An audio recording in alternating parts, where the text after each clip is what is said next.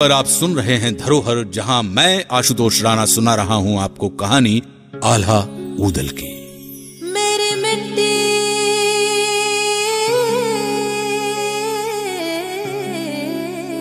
की धरोहर है। मेरे पिता ने निश्चय ही तुम्हारे पिता के साथ अधर्म युद्ध किया था।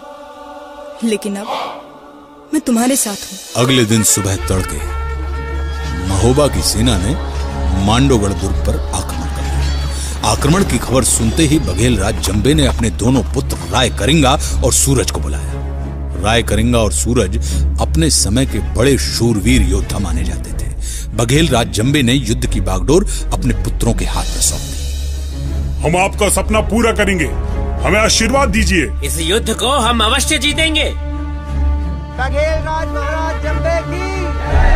बघेल राज महाराज जम्बे की। इधर, महोबा के सेनापति आला ने पंचव्यूह की रचना के साथ युद्ध लड़ने का निर्णय लिया। अपने घोड़े पर सवार होकर सबसे आगे चलने वाली सेना का संचालन स्वयं आला कर रहा था और बाई छोर की टुकड़ी का संचालन ढेबा कर रहा था। पिछले भाग का दायित्व मलखान के कंधों पर था और व्यू के बीचों बीच घोड़े पर सवार ब्रह्मा चल रहा था। दोनों सेनाएँ मांडोगढ़ के सीमांत के पास आमने सामने आ गई। राय करिंगा ने आल्हा को ललकारा। हमसे लड़ना तुम्हारी औकात के बाहर है। तुम्हारा वही हाल होगा जो तुम्हारे पिता और चाचा का हुआ था। उसी जगह उसी पेड़ पे हम तुम्हारी भी खोपड़ी टांग देंगे। ये बकवास का वक्त नहीं है राय करेंगा। तुम्हारे पिता ने अधर्म युद्ध करके मेरे पिता और चचा को मार डाला था। तुम अगर अपने पिता का सर लाकर मुझे दोगे तो हम तुम्हारी जान बख्श देंगे।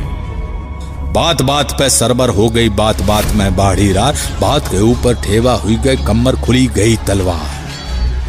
और फिर सेना एक दूसरे से भिड़ गई। राय करेंगा, आला की आँखों में धूल झोंक कर आला की ओर बढ़ गया। फिर उसने ऊधल पर भाला फेंका। भाला ऊधल के शरीर के पार हो जाता, यदि ऊधल का घोड़ा बिंदुला समय पर अपनी चाल ना बदलता। ऊधल के करीब से निकलकर करिंगा का भाला धरती में धस गया।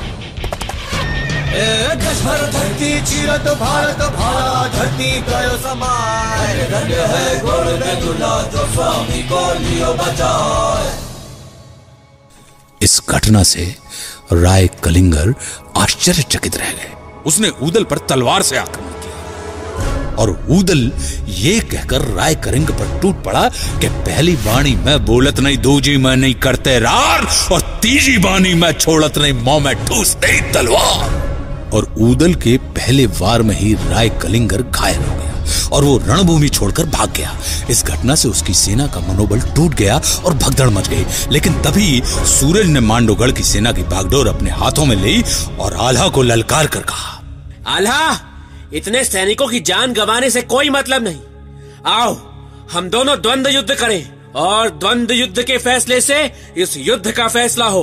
अरे जाओ अगर तुमसे मैं लड़ूँगा तो दुनिया के सारे वीर मुझ पे ये कहकर हंसेंगे कि आल्हा ने एक बच्चे को हरा दिया।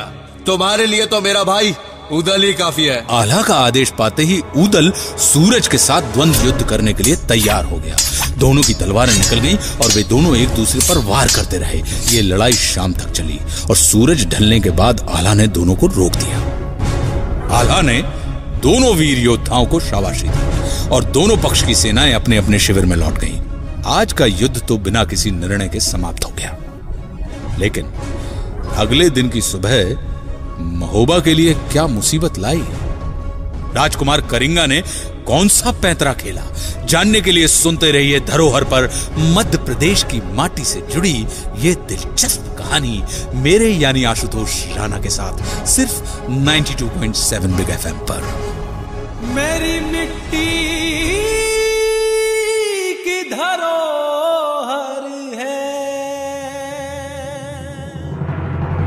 92.7 बिग एफएम पर आप सुन रहे हैं धरोहर और मैं आशुतोष राणा सुना रहा हूँ कहानी आला उदल की।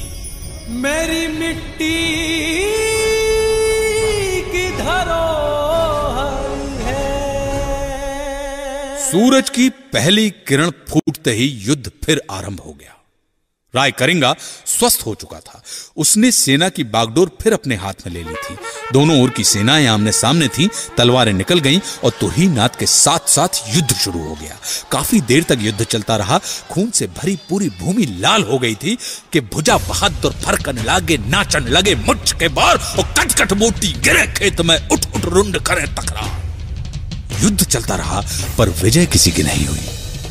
युद्ध का रुख बदलने के लिए आला ने उदल को राय करिंगा की ओर अग्रसर होने के लिए कहा।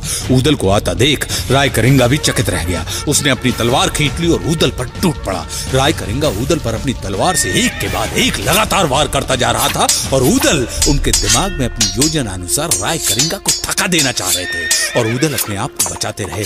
जैसे ही उदल को महसूस हुआ कि राय करिंगा थोड़ा सा धीमा पड़ा है और वैसे ही उदल ने लपक कर राय करिंगा के ऊपर ऐसा जोरदार कि राय करिंगा का सर धड़ से अलग हो गया। राय करिंगा के मर जाने पर मांडोगढ़ की सेना पलायन करने लगी। सूरज ढलने को था।